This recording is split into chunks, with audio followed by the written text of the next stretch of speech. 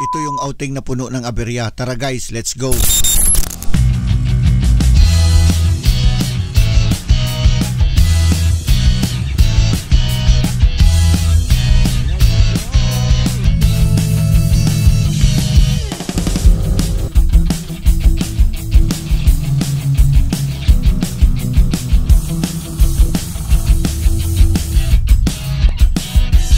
Biyernes katatapos pa lang namin ng trabaho guys. Since Friday ngayon at syempre excited na tayo. Meron kasi kaming nakaset na lakad ngayon guys. Kasama ko ang aking mga kaopisina at syempre kasama din namin yung aming kanya-kanyang pamilya para mas lalong masaya, di ba? Mag-overnight kami ngayon guys sa isang resort doon sa may Erosin Sorsogon sa Nature Spring Resort. Magna-night swimming kami sa gabi at nakapagpa-reserve na kami doon. By the way guys, sila commander pala. Nakisakay na sa sasakyan ng aking kaopisina. Samantalang ako, syempre magmumotor tayo. Motor is life kasi medyo may kalayuan din yung biyahe. Malamang sa alamang, gabi na kaming darating doon. Kaya tara na, let's go! Siyempre, dito tayo dadaan sa Sorsogon City Coastal Road. Ang ganda kaya ng view dito. Ayan, tiningnan tayo ni Paring Badong. Shout out sa iyo, Paring Badong. Yan palang Toyota Avanza sa unahan ko. Yan po yung mga kasamahan ko. Dalawa yan. Ewan ko kung nasa na yung isa. Ayan, susundan ko lang sila. Pero teka, magagas pa pala sila. Kaya nag-decide ako na mauna na sa kanila. Itong outing na to, madami tong pagsubok. Hindi kasi ito matuloy-tuloy. Finally ngayon, natuloy na. Pero ang problema, hindi nakasama yung aming bossing. Nagkaroon kasi ng conflict. Meron din pala silang lakad. Pero nagbigay siya ng 5K. Shout out sa iyo, Ma'am Joanne. Salamat sa 5K. May pandagdag na kami para sa pambili ng aming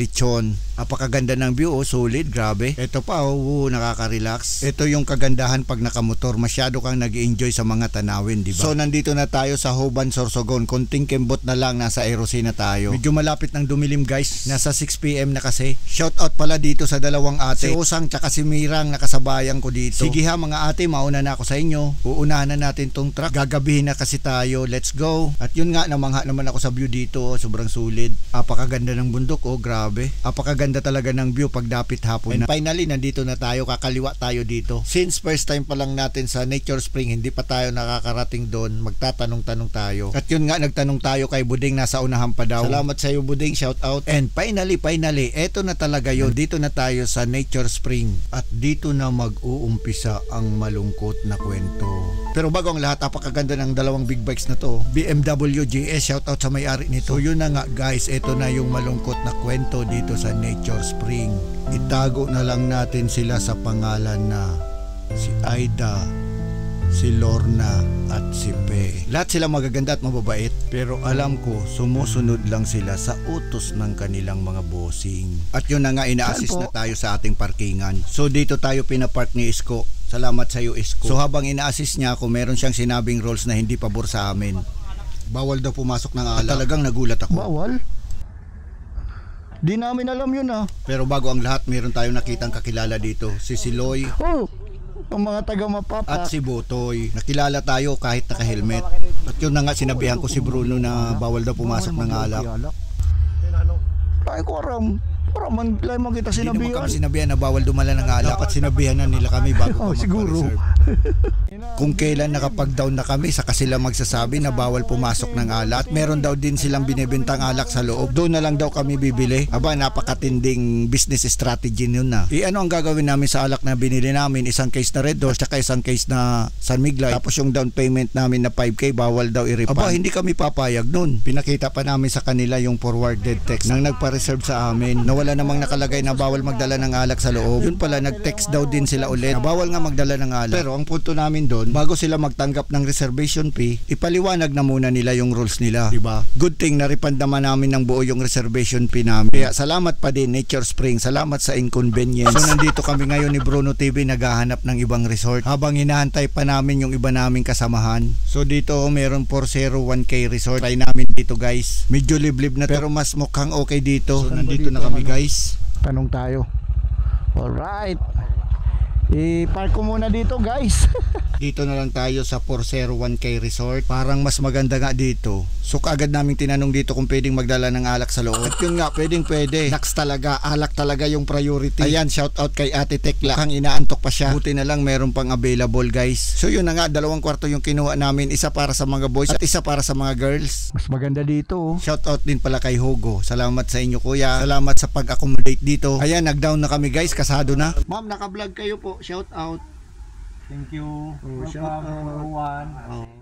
At yun na nga, binalikan na namin yung aming mga kasamahan. Nandito na pala si Commander. So pabalik na kami sa 401. Pasensya na kayo guys, sana wag nyo kaming ibas. Madami kasi ako napanood ng mga video. Sa tuwing pinaglalaban nila yung kanilang mga karapatan, kadalasan sila pa yung nababash. Apakaganda pala dito sa 401. Secured na secured yung parkingan. Ayun, papasok na kami guys. Finally, sa dami ng aberya. Nakakuha na din kami ng resort. At hindi lang yun. Sa tingin ko, hindi kami dito magsisisi. At yun, sa wakas, touchdown na kami guys. Let's go. Madami pala kami guys. Siguro nasa mga 12 person kami. At yun, nandito si Commander at si Jomay. At yung mga anak nila Milo Jean, Carlo at Bruno. Si Agua, si Simon at saka si Cristel. Si Christian at si Lenlen. So ito na kami guys. Nandito na kami sa aming mga rooms. At yun na nga, i-check na namin yung aming mga kwarto. At ayusin na din namin yung aming mga gamit. So yun guys, sinahanda na namin yung aming mga pagkain. Gutom na kasi kami. Ito pala yung mga girls. Si Ate Selly, si Milo, si Mamsa at si Maylin. At syempre si Commander. At ito yung aming mga pagkain. At medyo gutom na kami dito guys, kaya kain muna kami. At syempre, pagkatapos namin kumain ang ugat ng lahat, Red Horse. So ito naman yung mga boys, si GM, si Carlo at si Bruno. At syempre ako, mamaya-maya iinom na din ako. Pero pupunta muna tayong swimming pool. So ito yung swimming pool guys, parang napakasarap maligo dito. Pero bukas na ako maliligo, nilalamig na kasi ako. Pero teka teka, may natutulog na dito. Kala ko ba maliligo?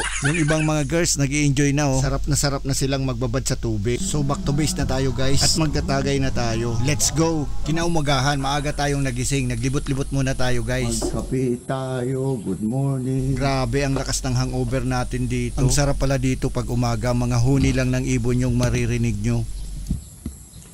Papunta tayong swimming pool, i-check natin kung meron pang tubig. At yun na nga, pinupuno pa guys. Nag-drain kasi sila kagabi. Madaming swimming pool dito guys, maglilibot-libot tayo mamaya. Ang lawak pala nitong resort na to. Pwede ka pala mag-jogging dito. At hindi pa pala tapos to. At under development pa pala to. Inuutusan tayo dito, igisingin ko daw si Bruno. I-claim daw namin yung pre-breakfast meal. Tara guys, kisingin natin. Let's go. Mukhang mga sila. Uy, gising na pala si Simon. Tulog na tulog pa si Bruno. Ang hirap gisingin guys. So nag-decide tayo, si Miley na lang yung isama ko sa pag-claim ng breakfast meal. Tara, let's go. Hahanapin pa namin kung saan kami magkiklaim. At yun nga, tinanong namin si Chak Maring kung saan kami magkiklaim. At yun nga, sakto, dito pala yun. At inalok din tayo ni Kuya Hugo ng kape. Libre pala yun dito, nice naman. At yun na nga, binigay na sa amin yung almusal ni Chak Maring. Salamat sa iyo, Chak Maring. Tara guys, dalhin na natin to. Let's go. Sarap nito, hot silog. Dahan-dahan lang, baka mahulog. Ayan, ready na. Let's eat. Sulit talaga dito. May libreng almusal. Salamat for Sir Juan. At meron pang libreng kape. At habang kumakain sila, meron pang ibon na tumutuka. Nagpunta kami kung saan sinasaing yung mga tao. Ayan no, pwede kayong iluto dito. At meron pa ditong isdang nangingilite. Yun no, tuwang-tuwa si Carlo. Ilagay mo ang paa mo sa iwan ka mo. I'm not gonna do that. That's my stickle spot. Sa una talagang makikiliti ka. Pero habang tumatagal, wala na. Ganun naman talaga eh. Sa una lang yung sarap. Ano sa tingin nyo? Agree or disagree? At yun na nga, pinagkaguluhan na tong mga isda. Enjoy na enjoy sila habang kinikiliti ang kanilang mga paa. Mas madaming kalyo, mas madaming isda. At eto pa, ang lulusog ng mga pating oh. Meron pa pala ditong kinoconstruct. Meron pang basketballan oh. Ang ganda talaga dito. Tara guys, at maglakad-lakad pa tayo dito. At mamaya magsiswimming na tayo. So yun, magsiswimming na tayo guys. Medyo mababaw pa yung tubig pero ligong-ligo na tayo guys para matanggal na yung ating hangover. Buweset na red horse yan, ang lakas sumipa. Ang ganda talaga dito, grabe. Maglulublub na tayo, let's go. Maglalakad-lakad muna tayo, ang babaw pa kasi. Dito tayo sa bandang malalim, sarap ng tubig. Maligo muna tayo dito sa falls, hahaha. Ayan, naligo na din sila Mrs. at si Bruno. Yun oh, pasensya na kayo guys at hindi tayo nagbra dito. Ang sagwang tingnan, gagi. At yun na nga, naglangoy na yung butanding. Ayan, sarap na sarap si Commander. Enjoy na enjoy siya. At si Bruno, nag-throwback pa. Ay, sa classmate ko ng grade 6, sa first kiss ko. Ay, kamusta ka sa Amerika? At dito naman tayo sa pambatang swimming pool. Pero syempre, pwede yung matatanda na. Kumpleto talaga dito guys. Hindi talaga kami nagsisi at dito kami napadpad. Ito pa nga, pinuntahan pa namin yung isang swimming pool. At ayan, may mga guest na na nagsidatingan. At nakausap pa namin dito yung may-ari, si Tio Rodrigo. At meron pa siyang tinuro. Meron pa palang swimming pool para sa mga bata doon. Tara, puntahan natin guys. Let's go. At ito na yun guys. So, ang galing. At pwede ka pa palang maglaro ng chess dito. Ang lalaki ng mga pyesa. Ayan, nagpicture-picture na sila. At meron pang passion fruit. oh, ang sarap pitasin. At yun na nga, naglaro na kami ni Bruno. Subukan natin kung kaya natin tong talunin. Ayan, nagkamali tayo. Ay, bali. Touch move. Touch move. Sige. Move touch. Ba't pinakakain mo yan ng libre? Ako nga ni, touch move nga ni. Nung bigay tayo ng horse pero ano lang yan guys, ah, trap. Ayan, nadali ko yung queen niya, blunder siya. Queenless. Sorry ka. Sorry ka. Ayan, ang problema na siya. Queenless ka. Ang Pagbibigyan na kita. Ayan, nilabas ko na yung queen ko. ayoko ng kabayo. Kain At yun, binigay pa yung kabayo.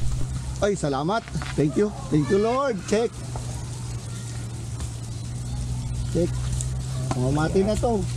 Wala na yan. Finish na yan. At dahil checkmate siya, siya yung mag-aayos. So hanggang dito na muna guys. Puntahan nyo na lang dito, apakasulid ng lugar. Hindi kayo magsisisi dito, promise. See you on my next video. Peace!